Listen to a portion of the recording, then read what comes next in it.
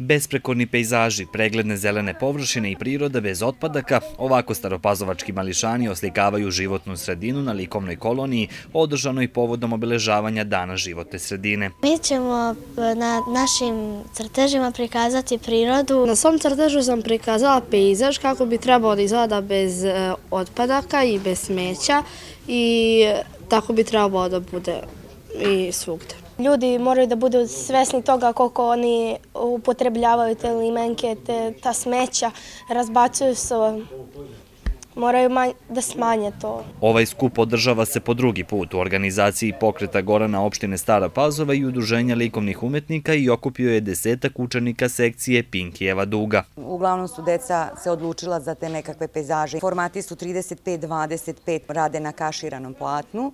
Prilagođeno je njihovom uzrastu, nismo hteli e, veći format.